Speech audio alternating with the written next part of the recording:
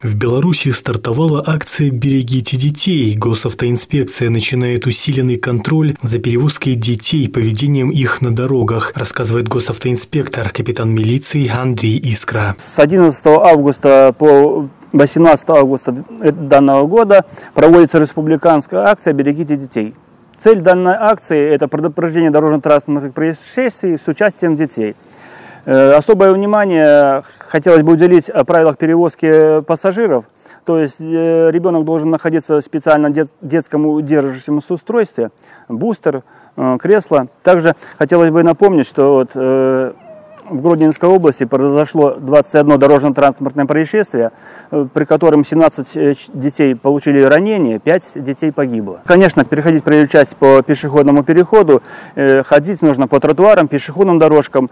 Вот. Э, да, это, конечно, большая проблема у нас, что дети как бы нарушают такие правила дорожного движения. Все зависит э, от родителей. В основном, основная масса, конечно, это. И как, как родители расскажут ребенку, так оно и будет.